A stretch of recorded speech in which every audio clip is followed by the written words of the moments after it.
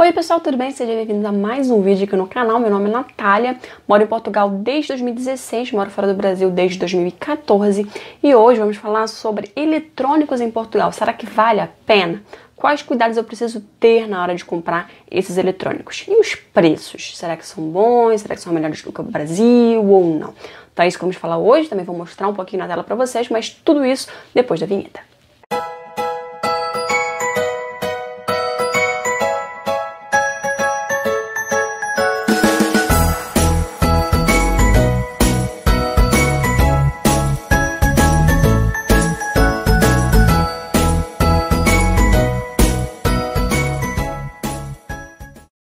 Então, gente, vamos falar sobre eletrônicos. Então, aqui em Portugal, a dúvida de muita gente, todas as pessoas que estão indo para Portugal, não sabe, será que eu levo câmera ou compro lá? Será que eu levo celular ou compro lá? Será que eu levo computador, deixo para comprar lá? Tem muita essa dúvida, né? Ou então, as mesmas pessoas que vão de, de passeio a turismo, querem saber se devem renovar os seus eletrônicos em Portugal e trazer de volta. Então, é isso que a gente vai falar hoje, tá bom? Antes de tudo, já deixe seu joinha, se inscreva no canal se ainda não é inscrito e vamos lá.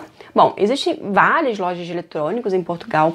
Existem as mais conhecidas e aqui eu particularmente gosto mais, que é a Vorten. É uma loja muito famosa. Você vai encontrar em qualquer esquina aí, né? Tem um W gigantesco vermelho.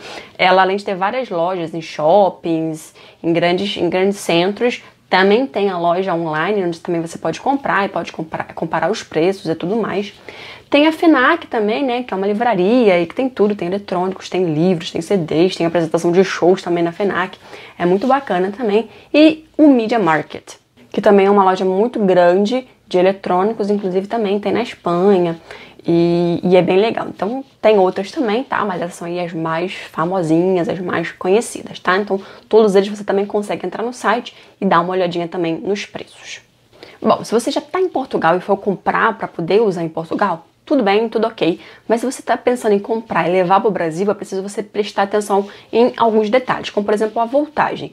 A voltagem de Portugal é 220, já do Brasil é 110. Então é importante quando você for comprar o eletrônico verificar essa situação, tá? Outra coisa também é a tomada. A tomada em Portugal é um pouco diferente das novas no Brasil, né? São aquelas de dois pontinhos, é, não tem aquelas de três pontinhos. Então, dependendo da eletrônica que você for comprar, você vai precisar ter um adaptador de tomada, mas também isso não tem grandes problemas, é super fácil encontrar um adaptador de tomada. Mas é importante também que você tenha consciência disso, tá? Outra coisa, além de você avaliar os preços, é, é, é bom você também avaliar em relação à, garantia, né? Se você for levar para o Brasil, vai perder essa garantia, se der algum problema você não vai poder correr atrás, mas, mas pronto, de repente pode, pelo preço pode valer a pena, e também você pode esperar aí os sete dias, comprar logo antes da viagem, esperar os sete dias de garantia da própria loja e verificar se está tudo ok nesse período, tá?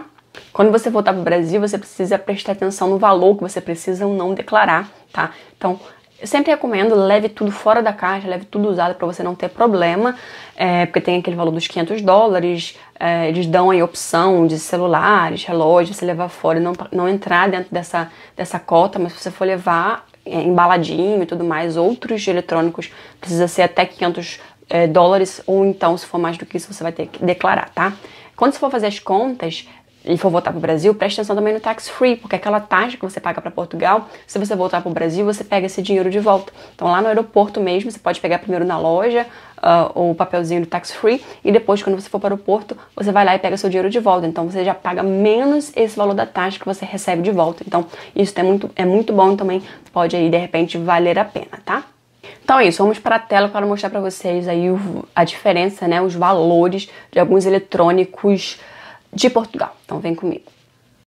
Bom, então vamos lá, vou mostrar os três sites, né, das lojas que mais conhecidas, né, para você comprar aí os eletrônicos e eletrodomésticos em Portugal. E o bom que todos eles têm site, então você pode comprar tanto mesmo no site quanto na loja, tá? Então, é, esse aqui é o da Vorten.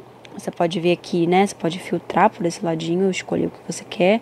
Aqui também na entrada já aparece mais ou menos que está em promoção, o que não está.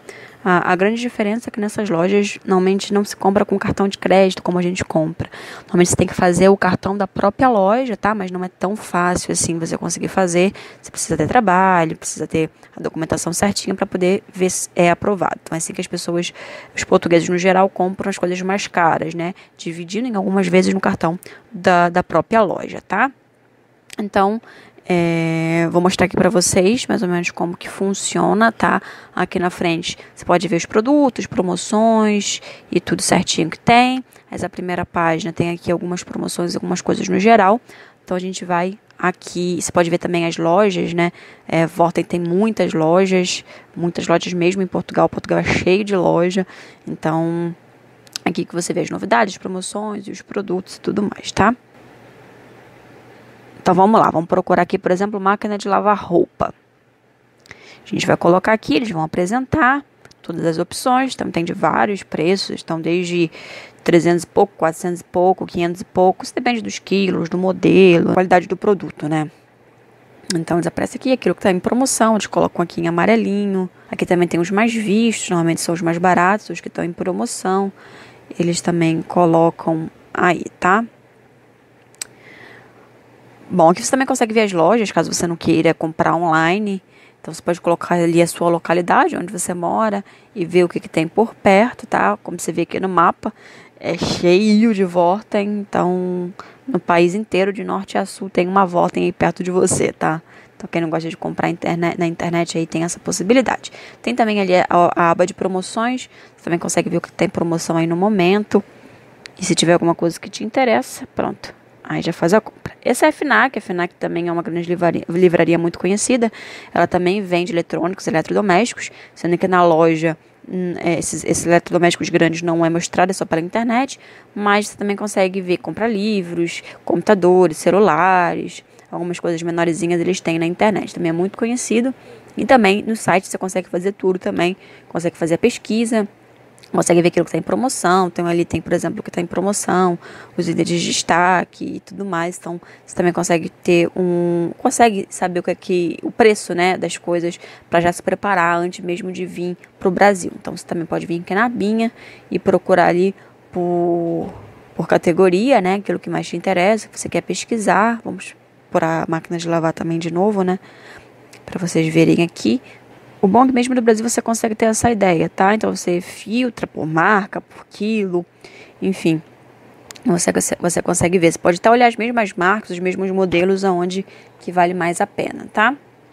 Então aqui tem bastante preço bom, olha. Afinal aqui. E o, o terceiro é o Mida Market.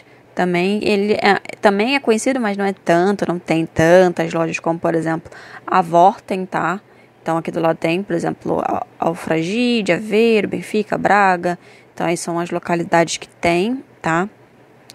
É, você também consegue dar uma olhadinha nos preços, nas categorias por ali. Você também pode pesquisar ali em cima. Então, tem tudo também, né? Eletrônicos, eletrodomésticos, computadores, áudio, né? Tem, tem tudo. Então, por exemplo, pode digitar aqui a máquina de, la de lavar roupa também. A gente tem uma ideia do preço. E pronto, aparece aqui todas as opções, todos os valores e tudo mais, tá? Também pode comprar pela internet ou então uh, pode ir diretamente na loja. Tá bom, gente? Então essas são aí algumas opções, tem muito mais. Tem aqui os folhetos para vocês terem uma ideia. Então já pode ir fazendo aquela pesquisa geral, já guardando dinheiro para mobiliar sua casa, para comprar os eletrônicos, eletrodomésticos e, e já vir preparado para você não ter uma grande surpresa quando chegar em Portugal, tá? Então é isso, gente. Muito obrigada. Deixe o joinha, se inscreva no canal se não é inscrito. Nos vemos então no próximo vídeo. Tchau!